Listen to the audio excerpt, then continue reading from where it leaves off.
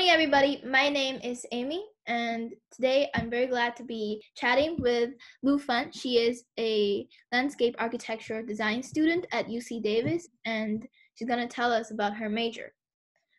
Um, so, Lu Fan, can you tell me about what a typical day is like for you at UC Davis? Uh, I think it's quite different from freshman, sophomore, and junior. And UC Davis, you have to uh, apply for LDA major in sophomore year. You have to apply again because there's only uh, 36 seats for LDA major. And in freshman year, there's only pre LDA major. And uh, there are lower division classes and upper division classes. And in freshman year, there are only lower division classes like lectures, like introducing landscape architecture, uh, sustainability, and city planning, something like that. And you have to write papers all the time. Uh, start from sophomore year, we have we start to have drawing classes and studio classes, and preparing for applying for LDA major again. And in junior year, we have start to have computer related classes. Like we have to learn many software, many many software like Photoshop, Adobe, Adobe uh, InDesign, and AutoCAD to have some plans and sections. And I think for me right now, I have to draw plans sections all the time and revise it all the time because there's no true or false about that, only better and better. Yeah, do you guys use the 3D modeling apps on the computer? Uh, yeah, I learned it from a design class. It's not a required class in LDA major. So, um, you guys take, it's almost kind of like art classes, like art or design classes, would you say? Some yeah. classes and then the others are more STEM related, computer science heavy. Yeah, and I think stuff from junior, you get rid of drawing. No okay. more drawings on hand. I think a little bit, but mo- almost all of them are computer related. Because yeah. in your future career, you have to use right. computer all the time. Yeah. Did you guys learn about ecology or not ecology, but more on the environment side? Did you? Yeah, but in first year. General background about landscape architecture. And for your like the sketching art classes, you guys went outside to the campus? Yeah, because we have to know the movement of people, how people use the space. It's hard to say because movement, how that it's not actual buildings or vegetations. It's about movement. Yeah, because you're building the architecture around how people live, and you're building yeah human interactions. How people use this space. It's not space. It, it, it is space, not a place. Professor always said that. Did you guys take any field trips to spaces? Yeah, always. Like where? San Francisco. Uh huh. Inside the city, and then just. Oh uh, yeah, inside city. I thought you were asking about the cities. Would you guys no. go somewhere and just sketch out the buildings? Yeah, sketch out building. And after we have uh, student classes, we have a site analysis. So I have to go to the site and analysis. like uh, we've been to Sacramento and Albany, the city near Berkeley. I think we have to because we have to analyze the site. So we have to go Would there. you be interviewing people? If you want, you can. What are the factors that you look at for analyzing the site? Shading and raining, uh, maybe some some of them from online. I have to research about that, the sign and the, the weather. Uh, I think uh, more also movement, how people use this site. Because when we designing a site, we have to consider about the like the neighborhood. So sometimes we will interview people like where you from, like how often do you go to the site and something like that? How does these analyzed results change how you model the like how you think of the architecture? What's one example? Sometimes it doesn't help. Most of the time last quarter I have a project about uh, indian people and we have to design a place for indian people. So we interview some people about what, what is the, their culture, what are the traditions. So we have to have memorial site for them. Oh, landscape architecture is not only about landscape and architecture, it's about their uh, history and culture behind the landscape. We have to know more like history things. Oh, Although I don't, I really don't like it. I don't like history. Well, it's really a mix of everything. I feel It like mix of everything, like pretty fine, I think. because the technical stuff is based on like human interactions and history, and then because it's built for us, built for humans. It's so cool. Uh, what skills does a landscape architect need to have?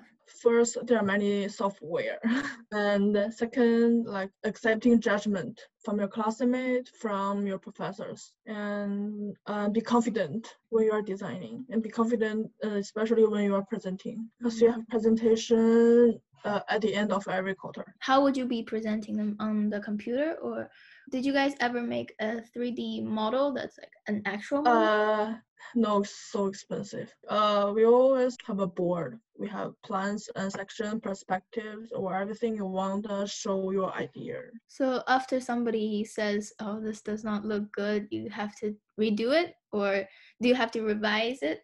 Yeah, always, all the time, all the time. Revise it until the last week. I know it's really hard because it's like a whole thing, and you have to take it apart and then put it back together. Wow. We revise a lot in the last quarter, especially in the last quarter, because we have really, really good professor. Yeah, she's really nice, and she really gave us really, really, really helpful suggestions. So we have to revise all the time. What's one common mistake or one common suggestion that she gives to the students? Why this form? Uh, we have group project in the last quarter, and my groupmate he did uh, like a moon-shaped island, something like that. And the professor asked, "What is shape?" She asked, "Why, why this? Why this form?" And it's hard to say because I just want this form. No reason. When you're designing an island, would you have to look at the meteorology and also the geography too? Uh, we have to, but always we uh we just regardless about it. We have to, but we didn't care about. Well, Yeah. there's so many factors. I never thought about this. Mhm. So you say the challenge for this major is that there's a lot of details that you have to consider? Yeah, a lot of details. We have to consider how people, okay, movement again, and landscape again, and environment all the time. Environment is the most important thing in this major, I think. Could you tell me um, one example of a project you made and then when you had to revise it again and again? I think most of them, or all of them, I have to revise them again and again. When I did site analysis and we have to think about the noise, my part was analyzing the noise of the site. And so at first I only use right color. We need to conduct a map with the noise analysis. It's not about writing a paper about the noise. It's about a map. Use graphic to show the noise. So at first I only have some red. I only use red color to describe where is the most noisy part. And uh, later the professor said it's not enough. It's not clear. So comment more about the graphic. I think. Did she tell you to label what kind of noise that?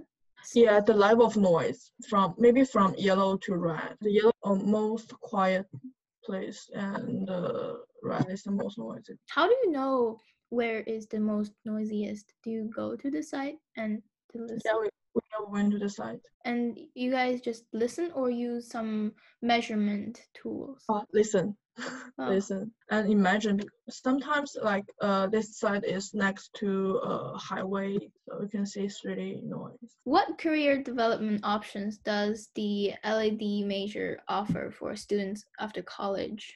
Landscape architect. Is that what you plan to be on? So it's called landscape architecture. What do you want to design? What do you want to be building? Uh, actually, I want to learn city planning in the future.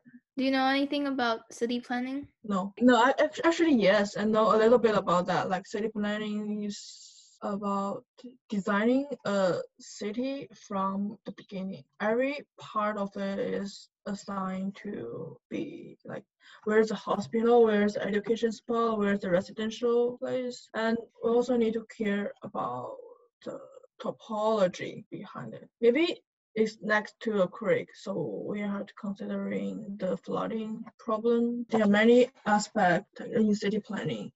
Most of them is a group work. It's not an individual work. It's so big.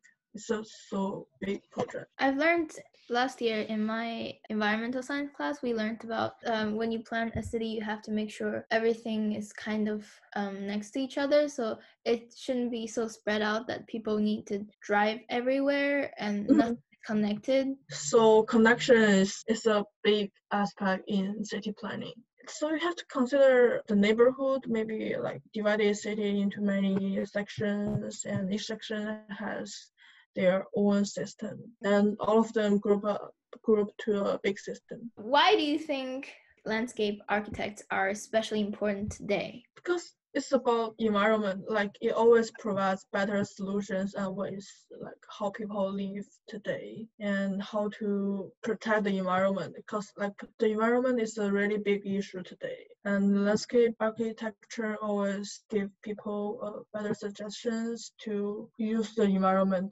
properly i think um, the design of a city just naturally guides people into yeah. lifestyle Mhm. and that lifestyle has a big impact on their that the way that the city is planned has a big impact on their tr- different choices like whether they choose to drive or walk and take public transportation or not and then Mhm.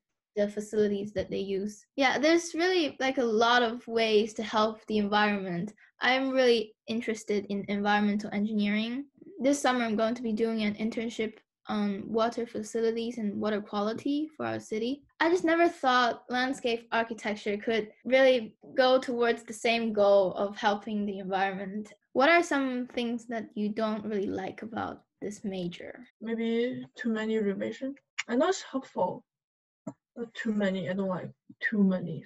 You really learn to accept criticism. yeah we have to accept criticism And that's the same in the real world. yeah accepting judgment from everywhere And also, I have this question: coming into like choosing this major, were there some courses that you were not expecting to be involved or to have um, been crucial to this major? Yeah, there's one plant class. Okay. And this quarter, I'm taking one plant related classes. In this class, we have to remember 300 plants, their scientific name, family, their common name. We have to know their characteristics. So it's really hard, and I don't think it's helpful at all. It might be helpful in building like a green city.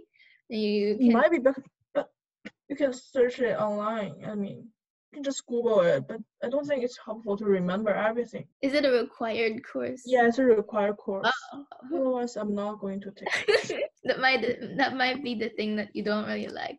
Yeah. What does your friends say about this course? Do they like it? No, Oh, No. nobody likes.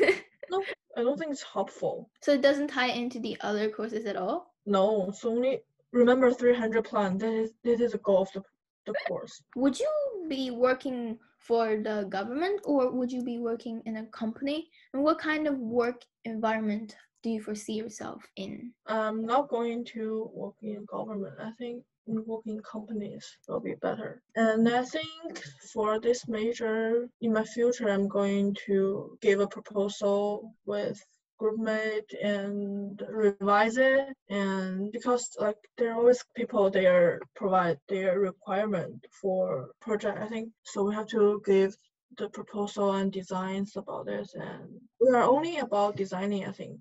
We are not considering construction. So you'll team up with the engineers who's gonna build. yeah engineer civil engineering i think. They are going to do the construction part. Or design